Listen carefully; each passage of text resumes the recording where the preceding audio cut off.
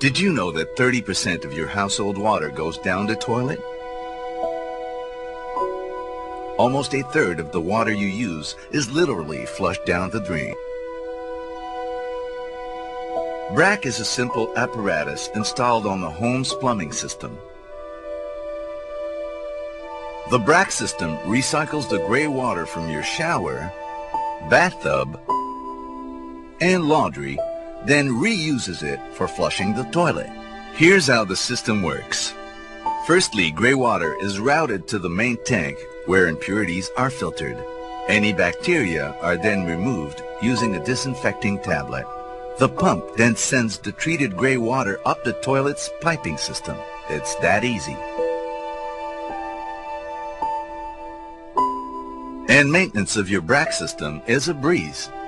Every four weeks, simply take out the filter, drop in a new disinfecting tablet, rinse the filter under water, and place it back.